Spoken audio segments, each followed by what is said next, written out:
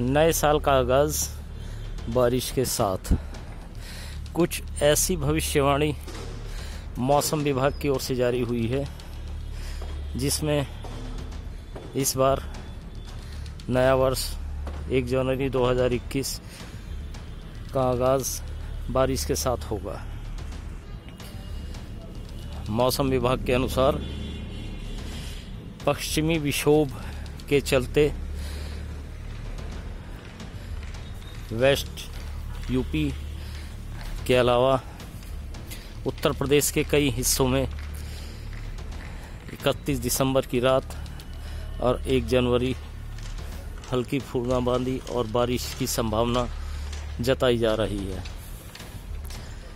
मौसम विभाग के डॉक्टर एन सुभाष के अनुसार इस समय वेस्टर्न डिस्टरबेंस काफ़ी तेज़ी से बन रहा है, जिसके कारण तापमान में बढ़ोतरी हो रही है और वायुमंडल पर हवा का दबाव काफ़ी बढ़ता चला जा रहा है। वहीं इस समय हवा में नमी ज़बरदस्त तरीके से बढ़ती जा रही है, जिसके कारण बारिश की संभावना और ज़्यादा जताई जा रही है।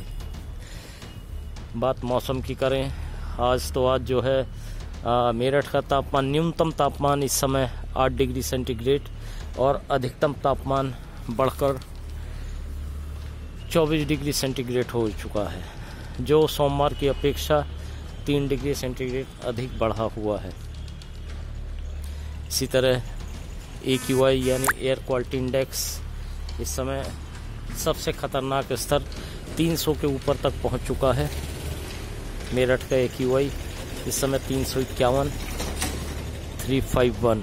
ये किस तरीके से दूर दूर तक हवा में और वायुमंडल में धुंध छाई हुई है।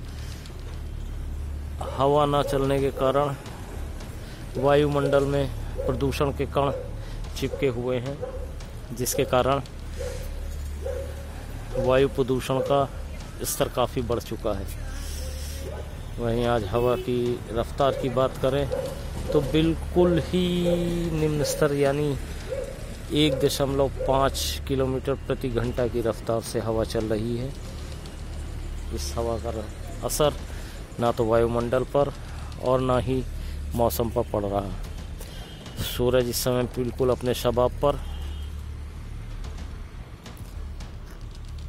सूरज ने पूरी छटा बिखेरी हुई है। हल्की हल्की गर्मी। आज मैं राजस्थान पत्रिका के लिए मेरठ से के पी त्रिपाठी